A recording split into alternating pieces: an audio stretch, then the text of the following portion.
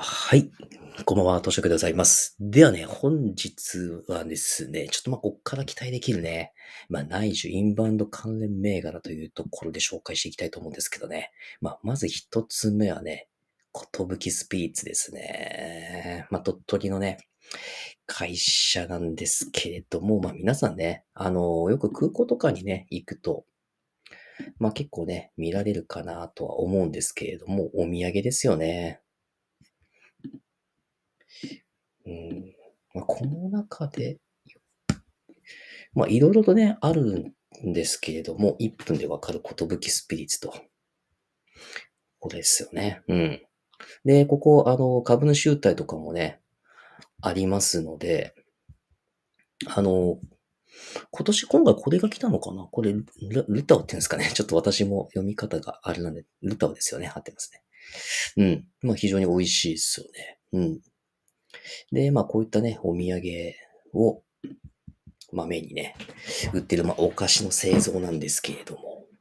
まあここがね、やっぱインバウンド来たらそりゃ買って帰りますわと。てか美味しいですからね。あの、本当に、ね、多分やっぱ海外帰るとわかるんですけど、やっぱ海外の空港のお土産ってしょぼいじゃないですか。お菓子とか。まあ、そもそもお土産の文化っていうのがまあない、ないからだとは思うんですけれども、買うのがないんですよね。なんで私海外旅行行ってもやっぱ空港じゃ買わなくてスーパーとかなんか適当にお菓子買って帰ったりしよくしますから。うん。で、なんかね、人にあげるのそっちが喜ばれるのも多いですしね。で、ここね、やっぱ何がいいかっていうとね、あれなんですよ。有利子負債少ないんですよ。で、受益もすごいですよね。100億ずつ来てるんで。ね、キャッシュフローも全然いいと思いますし、現金も220億あるし。うん。いやー、ここはね、あのー、ちょっとね、伸び悩んでたんですけど、うん、ちょうどそこ打って、今200日超えてきたんでね、これちょっとね、面白いと思うんですよ。このクソ試合でもね、かなり頑張ってきてますので、またちょっとね、直近ではね、あの、だいぶ変わりすぎているので、一旦ね、ちょ、調整は、多分一旦ちょっと200日のところちょっと下回ってこんな感じに行くんじゃないかなと思うんですけど、まあ今だいぶいい感じに来てるので、ことぶきスピリッツね、ちょっと要チェックかなとは思っておりますというところでございますね。うん。まあ、本当にね、あの、僕ちょっと私結構もう持ってて、だだ下がりだったんでね、あの、かなりショックを受けてたんですけれども、うん、まあ、ただね、ちょっと直近で上がってきたので、まあね、かなりありがたいなというところなんですよね。はい。というわけなんですけれども、次はね、ちょっと話題を変えてなんですけど、まあ、つい最近ね、あのー、ちょっといろいろと問題にはなってる、この国立公園高級リゾートホテル誘致というところがあるんですけれどもね。うん。というところでね、星野リゾートなんですけど。3287。まあ、なぜ星野かっていうとですね、まあ、あの、星野の代表ですね、星野社長もね、あのー、結構何年か前からね、言ってるんですよ。やっぱり国立公園で。あの、やっぱり、なんて言うんでしょう。もっともっと活用すべきだってことはね、何年か前から言っててですね。で、これですよね。これ、回。えー、っと、なんて言うんだっけ？手鹿がっすね。まあ、実はちょっと私この辺り行ったことあるんですよ。去年かな？去年、そうそうそう、ちょうどこの2月、4月ぐらいにね、ちょっとこの近くに行ってて、現地の人に教えてもらったんですが、この辺りで計画してるんですよっていうところで。いや、で、ここに、ここはね、余談ですけど、本当にね、めちゃくちゃ錆びれてます、街が。錆びれてるんですけど、この通りね、マシューコ。これむちゃくちゃ綺麗だったですね。で、映像時間もあったりとか。なんで、多分ね、また森、ちょっとね、復活してくるんじゃないかなと思うんですけれども。またやっぱね、皆さん懸念されてるのはやっぱ外資誘致とかってあるんですけれども、まあ確かにね。で、あと、あの、まあ個人意見ですけど、X のね、ある方がコメントして、やっぱ、まずは国立公園の整備からじゃないかなと。うん。まあそれごもっともだと思います、本当に。うん。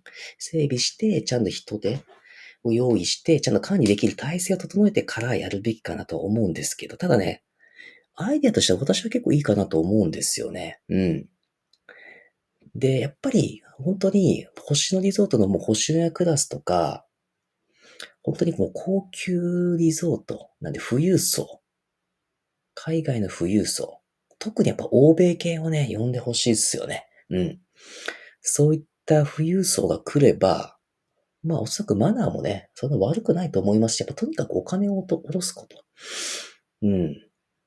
で、あとやっぱりね、あの、富士山の入場料とか、姫路城とかやっぱね、海外、外国人はね、もうめちゃくちゃ高くしていいと思うんすよね。あの、特に外国人だからなんか、その、偏見はそういうのはないんですけど、結構当たり前だと思うんですよね。うん。やっぱり、や、安いまま同じ料金じゃなく、やっぱ高い、ちゃんとね、値段を取っていかないと、やっぱそこで働く人たちもね、あの、どんどんどんどんやる気失っていきますよ、そんな安い値段でね。言い方はね、ちょっと、やっぱり安い料金だってやっぱりそれなりの人しか来ないので、うん。そうじゃなくてちゃんときっちりお金を取って、やっていけばね、うん。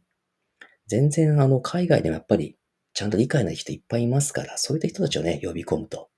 で、あと電車とかに関しても、も海外の人たちは切符で買う人はもうね、5倍ぐらいと10倍では取っていいと思うんですよね。うん。本当に。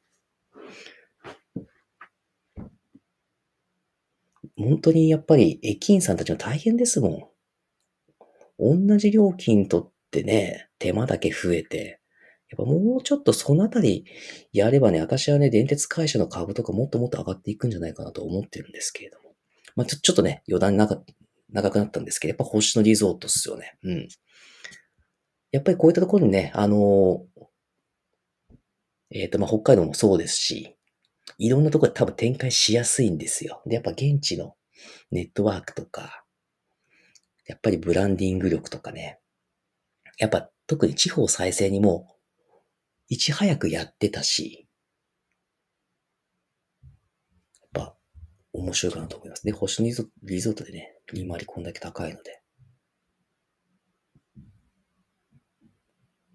で、まあ株価この位置なので。うん。まあ、面白いかなと思いますね。星野リゾートに関しては。はい。ちょっとね、余談が長くなっちゃったんですけれど。はい。で、続いて小田急なんですけどね、小田急に関してはね、まあ、箱根鎌倉エリアとかを抑えてるので、まあ、そういったね、あの、旅行需要も十分あり得るし、やっぱあなたりってね、結構単価もね、多分取れるんですよね。東京近いし、海もね、ありますし。温泉あるしというところなのでね、ちょっとまだまだね、私個人としてまだまだ伸びていくエリアかなと思いますし、鎌倉なんてね、平日でもすごい人いますからね、駅前。まあ、どんだけ宿泊するかっていうのは置いといてなんですけれども、また、ええのでですよね。うん。で、まあ、ここ百貨店もあるし、あとは新宿のね、不動産もあるしというとこでもね、やっぱ、電鉄のね、ここもね、早く運賃を上げるべきだと思いますよ、本当に、まずは。そしたらね、もっともっと盛り上がっていくんですけど、まあ、ただね、うん。ようやくね、踏みとどまってる印象があるので、まあそこをつけてきたんじゃないかなと思うんですよね。うん。長く調整しましたからね、ここも。うん。というわけでね、ちょっと私はね、電鉄、私鉄と、関東私鉄の小田急がちょっとね、改ざん多いんですけど、小田急はね、ずっと見てますね。で、まあ、しつこいんですけれども、あとはもうコスモスイニシアスね。うん。もうここはね、私は MIMARU はもう、私の中で結構一押しなので、やっぱね、もう今電鉄、もうビジネスホテル、もう開発も一服したかなっていうところで、今後やっぱね、ミマルみたいな、4から6人とか泊まれるようなね、で、なんかキッチンついて、サービスアパートメント系みたいなのがね、多分伸びてくるんじゃないかなとは思ってるんですよね。まあ、ちょっと今揉み合ってますけど、うん、まあこの位置をブレイクして、まだまだ上に行くんじゃないかと思いますし、先日の話だとね、大阪の方、まだまだ、あの、未丸の、結構大阪ね、かと、競合、競争というか、需要、供給も多いんで、なかなか単価上がりにくいんですけど、まあ、未丸みたいなタイプはまだまだ少ないみたいなのでね、伸びていくんじゃないかなと、はい、思っておりますというところですね。で、最後はね、961の強立メンテと。ここもね、うん、分割して、だいぶね、下、沿ってきているんですけれども、うん。まあちょっとまだ下がるかもしれませんが、うん。まあここからね、巻き返しというところで十分あるかなと思いますし、まあ訪日観光客来るんだったらね、強烈メンテナンス、ドーミーインとかね、うん。まだまだ来るし、やっぱビジネスホテルだったらね、やっぱなんかもう、東横インとか、やっぱ温泉があるとこ行きますね、私は。なんでドーミーインさんとかよく使いますし。うん。で、ここ旅館とかもやってるんですよ。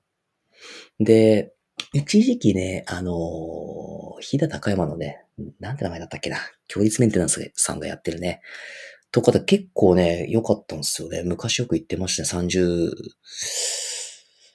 前後ぐらいだから10年、10年ぐらい前とかですかね。うん。多分今もね、多分ややられてると思うんですけど。うん。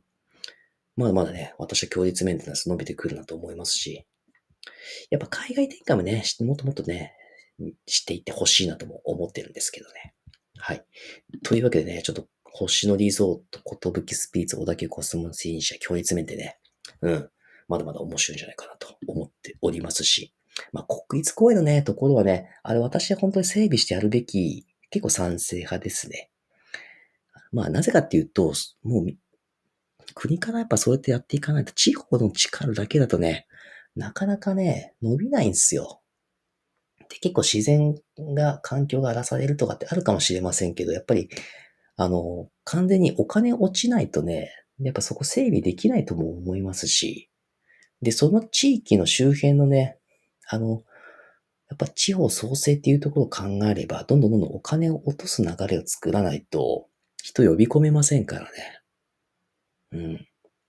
どんどん加速が、ね、あのー、加速していくと思ってるのでね。うん。やっぱね、きちんと整備して、人をちゃんと呼び込んで、なおかつ価格も上げながらやっててほしいなとは思っております。でもやっぱそういうとこ働く人のね、給料をね、めちゃくちゃ上げてほしいですね。なんでやっぱり、うん、単価取れる施設がいいかなと思っておりますというところです。以上です。